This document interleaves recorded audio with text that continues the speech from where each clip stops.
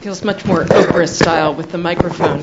Um, it's always interesting for me as somebody who's kind of a, a, translator of complicated things to a wider public to come to academic environments. And um, I've been giving I've been giving thought for years about um, the impact of new technology on creativity. And the book um, I'm one of those people who I knew I saw ebooks coming. I, I knew they were going to happen, and um, I saw the the way the publishing industry and people were uncomfortable with it. And um, I've listened to these presentations with great interest in part because I feel like if I were to use a, a, metaphor for shifts in the music industry, for example, I feel like there are, we've got a lot of loud music and that music that comes through technology that blares at you, and yet you'll find often in a show there's that moment when there's the quiet song, there's the ballad, and there there are those lean in moments that really grab you, and all the noise goes away. And I feel like books for me growing up were that place.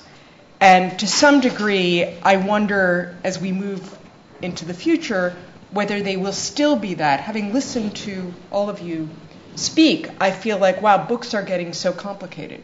Um, yes, we could have computers write poems, but why would we want to?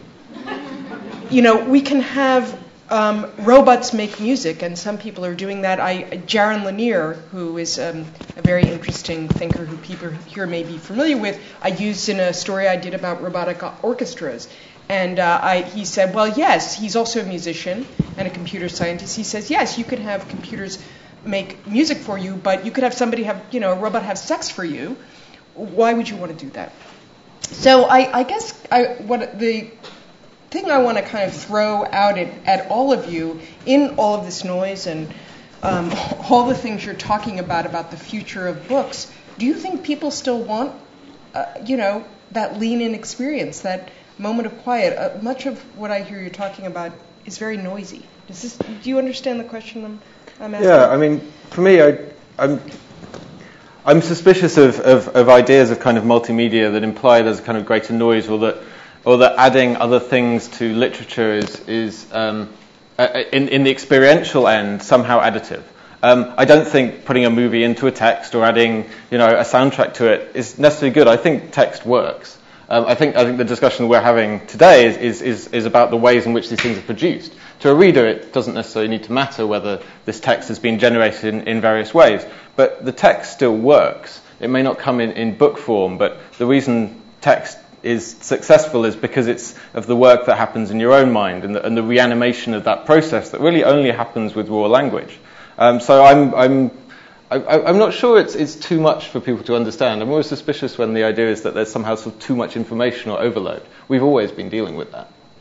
Uh, do, would, would others agree that you know we've always been dealing with this level of overload? Is yeah. it just me? Yeah, you have you have quotes from the like 17th century after the Gutenberg revolution, where you have people saying, "Oh, this is the end of the world. We are over, overwhelmed. It's, it's, we won't deal with this kind of uh, level of information." And each time you have a sort of uh, technological evolutions like this, you can get this kind of uh, feeling. But then, I mean, one, one of the questions I'm interested in is whether, as you mentioned, whether people would be willing to, well, navigate through this uh, this noise. And I uh, I work with a, a, publisher who's doing science fiction and fantasy novel, and he, he told me recently that in his in his business, if the book is not is less than 500 pages, there's, there's no way it will sell. It, it, should be 500 pages to, to, to sell because the the audience uh, they have mostly teenagers and, and young people want to dig in this kind of very fascinating universe with very very thick books. So that that's a kind of a counter example that I found very intriguing. Uh, regarding all the discussion we have with text. Well, I, I believe people do want to dig in. I mean, I'm saying I think they do. I think they want. I think they still want those moments. I'm not sure. I'm happy to have all these, you know, to be able to click on a word and go to a whole other universe in the middle of a narrative. Um, and so, you know, and I think you were talking a little about that earlier. I mean, do we, you know, maybe when I'm reading an article, but when I'm reading a narrative, do I really suddenly want to leave that narrative? It's difficult for me to, to express uh, in English, but um, I was very impressed by the path that uh, James has, has followed. Uh, what he was telling, but the path as he was moving. And, uh, for me, the future of the book, uh, I don't bother really at all. For me, it's a uh, it's a finished experience. Uh, it's, it's, quite strange here. In France, we have on our campus, you have a University of Science and the University of Literature of, of Law. It's completely separated. Here in Berkeley, the world is together. But uh, yesterday evening at the French department, there was a, a, buste of Voltaire in bronze. So it's completely silly. But uh, sure, there was a, there were not data show. There was, uh, I think uh, there's, there's, a huge gap between what we can experiment uh, each day uh, on Twitter, on Facebook, and we are completely fascinated, each of us, by what we can invent there and try and try there. Um, and the, the, the, very slow path where literature has to be continued, as I was telling with uh, uh, Hard Times of, of Dickens. And, and, the gap is there, but we can't uh, go. There was a lady about uh, that's given a, a, question about the young people and, uh, and empathy. Uh, we can't um, um, express ourselves um, with the reception of it. Uh, I, I, just finished all that. The, the, experience of literature is very uh, um, it's primitive then the, the, uh, each tool is doesn't convin- uh, is not convenient but the, the reading experience is moving as well as we are conducting our writing experience. Uh, what is happening uh, uh, three weeks ago with on the Kindle Fire with the little glass. it's very strange. You American think as a, a reader is a, a, a, guy with glasses. Passing Jeff Bezos. yeah, the, the reader is a sort of. but um, the Kindle Fire, the, the experience of reading uh, website and e-books on Kindle Fire suddenly made a move. Uh, at the same time, uh, Apple is completely uh, leaving the, the experience of the iPad. The uh, e-books is always uh, kitsch. just to finish, um, this gap is um, yes, it's a huge gap but the reading experience is moving as well as our writing experience goes on. Uh, we can't. Uh, yeah, it's primitive, but there's no other place. If, I think if we go to the research and laboratories, if we go to law laboratories or, or science laboratories, engineering, you can't find any book there. But the books are only in French departments. Uh, so we have to go forward. Um, and to to invent. Uh, uh I can't uh, today. Uh, uh i try on my site to uh, to get my yes 300 pages book. How can I do? how can I get a reading experience with it on the web? I don't know by then, but I have to do it. No other way. Sorry for the. Well, and is, is, is, that a problem? I mean, James mentioned this quote by uh, William Gibson where he says that uh, reads on top of uh, Firefox, looking for things and running with that. But our reading experience could be like that. Uh, you have people. Uh, I spend I spend time with people observing how they, they read using Kindle and iPads and tablets, and and they say things like, uh, okay, I, read three lines and then I jump on Wikipedia and I jump. To uh, I mean, of course, for me that's that's kind of weird, but that's their new kind of reading experience. It, it seems to be. Yeah, and yeah okay, do we have to judge that, or what can happen with this kind of reading experience? As what, do, what do you get out of the, book? It, it, might be something different, simply, and, and that certainly changing the changes the reading experience. But yeah, who am I to judge that? I don't know. No, I mean I can't. I can't necessarily judge it. I just wonder that as, as human beings, I feel like we're wired for narrative. I mean, I've made my living in radio, and you know, one of the things I've always liked about it is it's a very intimate experience to tell somebody a story right? though I am allowed to use special effects and so forth, I think there's still something about us that likes to be just told a story. But maybe I'm wrong. Maybe, you know, the next generation of people wants this experience where they're constantly jumping around. Um, and I'm curious if you have thoughts on that. Well, I think the, the, the experience of uh, reading a, a book, uh, we, we, talked about that yesterday evening at the Swissnex uh, Book Lab. Um, uh, the experience of um, reading a novel, for example, is a, is a, is a, is a it, you escape the, the, the noise. You, you, you, escape the noise by reading a long form a novel. Um, and it, you would not read the novel necessarily on paper, it's on a screen. And now, if it's on a screen, we are connected uh, with, with other possibilities. And if I don't understand something in the book, so I could search for something. Or um, there, there will be something like social reading, social books, which means that I will be connected with other readers and what, uh, what perhaps what they think uh, about a certain content, a certain chapter, a certain character, or just a certain line of a book. And, and I could switch it on. And immediately I am connected to what I call a content trusted community, which is, uh, uh, which is working as a community behind a writer or behind a, just a, a book title. But the, the immediate experience of reading a book is, of course, you are uh, forgetting the noise around you if you just read the book. I guess the question is is that an experience that's primarily over, or a rather rarefied experience? I mean, you said don't judge it. I, I also but. would again contend that it was never there entirely. Like there was no kind of magic golden age in which that was the case. Um, when Gibson talks about how he was not this stereotype of the hermetic writer and then he's constantly engaged with the network while writing, that goes true for the reader as well. You don't sit down and read a novel in you know, one long kind of flow. Yes, you may go and sit in a quiet place for a while, but it, that, that, experience stretched over weeks in which you have many, many experiences. Uh, likewise with the radio is a really good example. Um, very few people sit for even a half hour radio program and listen to nothing else. Radio is the perfect, a wonderful medium for doing while you're doing something else. Uh, and, and, and, and, its history is, is I think, interesting in, in, the form of the history of the book as well, because radio went through like one of the most incredible kind of media format changes with the advent of television. Um, when basically, you know, oh, suddenly, you know, we've got, we've got pictures, and, and, and there was this idea that, like, television was radio with pictures, which it's not. It's a different, it's a, it's a radically different thing. Just as you know, books aren't you know movies with words. It's it's not. That's not how it works. Um, but also that, that this idea that television would sort of kill radio.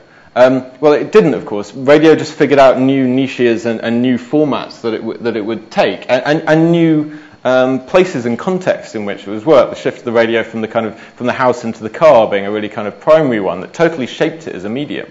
Um, so the, these media are not fixed; they're not eternal. They never had a fixed form, uh, and and they're kind of constantly in flux. I think they're changed as they go through these these kind of um, format changes kind of changed by the other technologies that grow up around them, and by our own the ways in which we are changed by those technologies. I mean, as a radio person, I would agree. You know, largely people said radio was dead, and it clearly isn't. Um, and usually, what happens is new media join in, and the legacy media, older media, stick around, adapt, and create a different experience. Um, but but I do wonder. I mean, do you do whether or not I uh, people agree whether or not we've ever never had an experience of quiet reading. Well, whether that you know. But even even the, the content, mm. if you, I mean, uh, novels like Thomas Pynchon or David Foster Wallace. I mean, with tons of uh, notes, footnotes everywhere. It's it's quite noisy uh, uh as well. It's it's also mm. well, I, I, love it maybe because I grew up it's, with this kind of thing. It's perhaps just a false problem. I think uh, um, in two, 2004 on the, the Mac has become the, the OS 10 system. And before we had uh, Word software, um, only one software was possible. Uh, on the same day, the, the, we, we can have a, a, three or four, ten windows on our screen. Uh, nobody of us uh, could have uh, imagined, per advance what was the mental change of it. Uh, when I am with my students some weeks ago, um, yeah, there was one. He was connected and uh, chatting. So, so I, I, told him, uh, please go to the library. I need to concentrate. Monsieur, vous faites jamais deux choses en même temps, vous? Uh, don't you do uh, two things at the same time? so, uh, and it was particularly dense. And so uh, it's, it's, not. When I read a book, I have my uh, I have my my note. I can do my note. I can speak to my friends. I can. Uh, today, when I read a, a, paper book, because I don't have the, the the digital version, I put my iPhone on the book, and I needed to to have to to send my Twitter experience to the. But is this a change? No. Um, would I you say, as a radio uh, personality, sorry, would you say an audio hearing an audiobook is reading a book? You know, it's it's a somewhat different experience than reading. I mean, I'm not, you know, I, I'm not saying there ever was a pure time. I think there were some pure moments in my life of just reading a book. Um, I don't know that, you know, particularly when you're younger and you have less distraction and you can just go bury yourself in a book. But, um, you know, I don't know that young people are doing that right now. I think it's a different time. But I want to open it up to questions. I, I don't want to sound like a Luddite because I'm not. I actually love all this stuff. I'm just asking these questions because I'm I'm curious about the response. But I want to. Um, it's, it's, always good to get a rise out of people. Um, so uh, if you guys have uh, questions. But nobody has an opinion about it. Yes. it's moving on. So um, right here, we have a mic for this.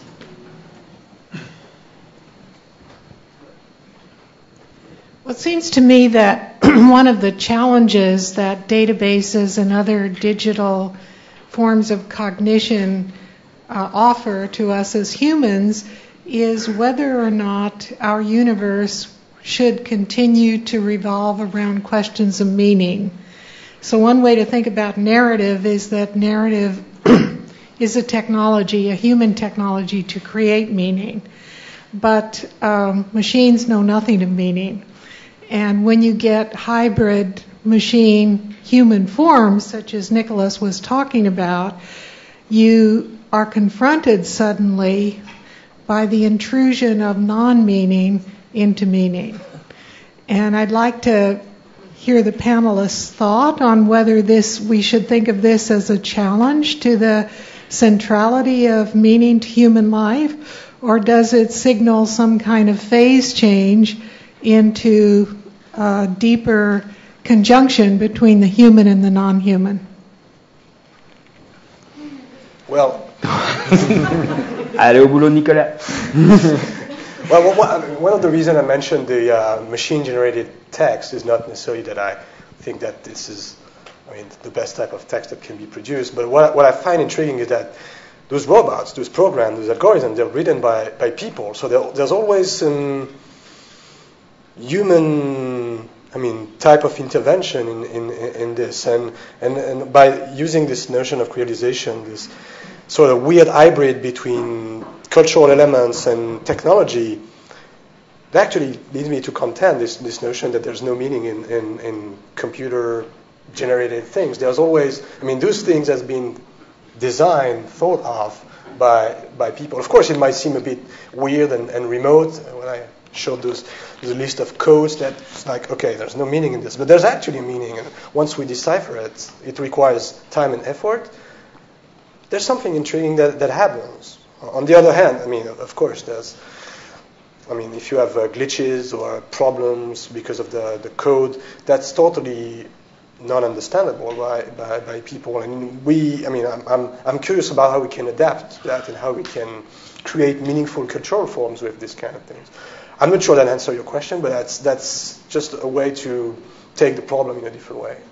Yeah, there's, there's no way I'm going to fully answer that question either. Um, except, except to say that, like, that we talk a lot in absolutes that are always a bit wobbly, and narrative is like this grand human thing, and we all love it. And I think meaning, if we're going to do that, then at least put meaning as one of the things that we're pretty much, if we're hardwired for anything, is something that we're going to keep doing. We're, pattern recognition is sort of one of the essential things the human brain does, even physiologically, before you even start thinking about it. Um, but but I, I, think what changes is not necessarily the search for meaning, but the ways in which we construct that meaning. So that the it's it's it's no longer comes formed by kind of forms of of, of, of authority and, and notions of kind of singular truths either, um, uh, but more that uh, there's a, a, more diffuse um, appreciation of what the possible meanings are, uh, because we recognise that the uh, that various forms of authority which we've counted on to produce meaning in the past have, have broken down, and I'm kind of generally for that. Um, but uh, and so constructing meanings becomes more of an individual responsibility. Um, it becomes uh, removed from kind of institutions and, and larger uh, the ways in which meaning was produced in the past. And we enter a time of, I think, a, a, kind of intellectual precarity where we, we, we, have to take a lot more responsibility for our own meaning production out of these things. Um, uh, the, the, the, the grey areas of, of comprehension become a lot more visible because they're revealed by these network technologies. Again, I don't know what that means for us, um, but I'm also like it's, it's clearly the thing that we are constructing around ourselves in order to, in some way, better understand the world and ourselves. And I welcome that essentially. Yeah. I, I would totally. I'm sorry. I, I would totally agree that stories we tell each other and, this, and, and the stories which survive tell us really truth about life and gives us meaning and gives us meaning as for our human, uh, yeah, for our life. And, is, we are telling us stories uh, since hundred years, myth tales, which uh, tells us uh, about truth of life. And but the data, uh, uh, I call it now, we could say the data storytelling uh, could be. Uh, it reminds me of Dadaism. You know, it's, uh, it's, it's, it's, it's, it's, you, you think it's meaningless, but it has a meaning. And which, by the way, Dadaism was invented in Zurich 100 years ago. Uh, but in a, in a crisis situation. Uh, so if we lose sense of life because of the World War One, uh, artists invented Dadaism because they didn't find any meaning during World War One. And so I think this is a kind of data Dadaism, uh, uh, and uh, yeah, why not? Uh, and perhaps it uh, also shows us something about our society. Another question Hi. back here. Hi there. Oh, or, sorry. Uh-huh. I, have, I, have, two simple but related questions. first is um, how important do you think it is to get low cost electronic devices, screens into the hands of the masses. A, $20 Kindle, a $10 Kindle, a disposable Kindle. And number two, how important is it that you think that content should be free or shared? I know Martin said that um, we pay for stories, and that's fantastic, we do. However, not all of us can afford to pay for stories, and it used to be that a book was a physical uh, form that you could lend to someone, and that was one way of distributing ideas. And is that going to continue in the in the digital age, uh, where you share your Kindle book? I may have paid three dollars for a Kindle book, but I can still loan that Kindle book to someone for two weeks. So I wanted to know what your thoughts are on free low co- or low cost devices and free content that is shared for those who can't afford it. Um, yeah, everything should be free. I mean, if, if, we're going to have that discussion, then you know, so should electricity and, and voting and, and, and, all the kind of structures of society. Um, you know, yes, surely. Um, but but given that that's not al- always possible, I, I, think there's there's another way. I'm going to do this to you to frame that question, uh, which is is less about giving people the technologies, though that's important and an important part of this. Uh, my larger concern is actually how we how we um, how we share literacies in these things.